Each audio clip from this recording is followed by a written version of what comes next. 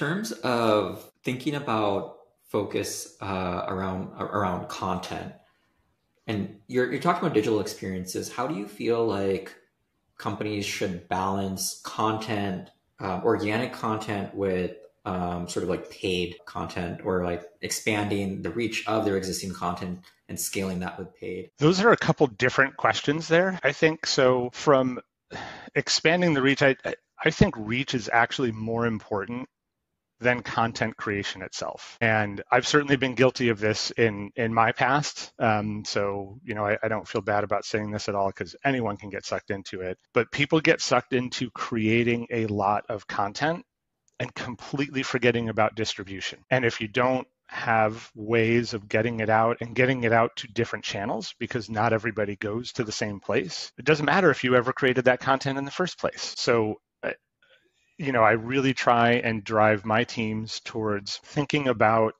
distribution, getting into the channels where our audience actually lives, where do they do their learning, all of those kind of, of questions and then sort of work your way backwards to the content itself. What kind of content do I have to create to answer the questions that people have out there? And that can also, I think, help with that backlog of I have to create a billion pieces of, of content this quarter.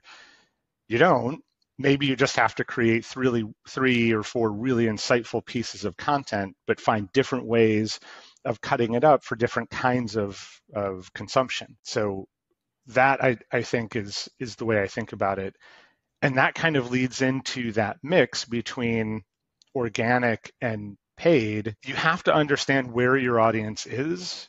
And I, I think a lot of people lately, uh, you know, Chris Walker um, from Refine Labs, and, and he's moved on now to his next venture. But, you know, he's talked a lot about how people just dump money in the hopes that they are going to get somebody who's in market um, and is going to to come down.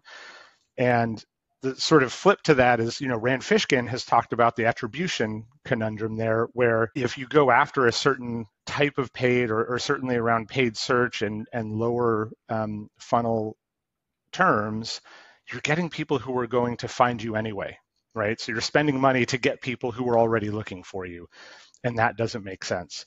So Eh, you know, I like to think about getting into the channels where the people are, making sure you're answering the questions that they're answering, starting with organic and and seeing what works, and then using paid to, especially if you're uh, you know an earlier stage company and you don't have the name recognition yet, or a message isn't getting into a channel because you haven't previously been active in the channel, whatever the case may be. That's where paid, I think, can really supplement and and push you over that sort of hump, that barrier to get to the next level. Yeah, and and that can be super effective, but you don't want to lead with paid in my mind.